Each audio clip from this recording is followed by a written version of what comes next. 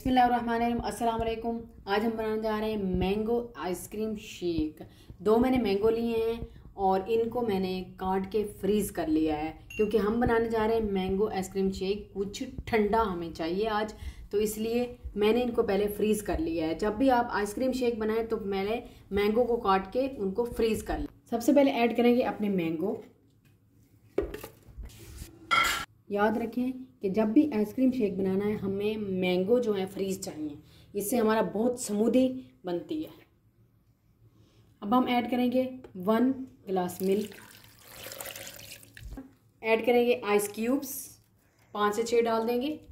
Ice cube डाल दिए अब हम इस अंदर ऐड करेंगे mango ice cream mango ice cream की रेसिपी हमने आपको पहले दी हुई है। तो ये टू स्कूप हम डाल देंगे अंदर। कर दिए। टू टेबल स्पून डालेंगे हम शुगर। आप अपने टेस्ट के हिसाब से डाल लें।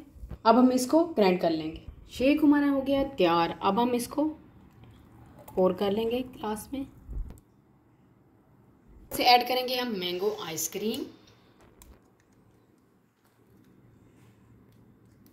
इसको सर्व करेंगे चॉकलेट सिरप के साथ।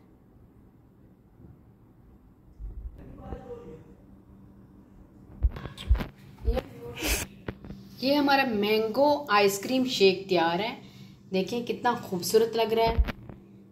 ये बहुत मज़े का बना है। आप अपने घर में ट्राई करें इसको। ये बहुत मज़े का लगता है। अगर आपको ये मेरी रेसिपी अच्छी लगे तो प्लीज़ लाइक करें शेयर करें सब्सक्राइब करें।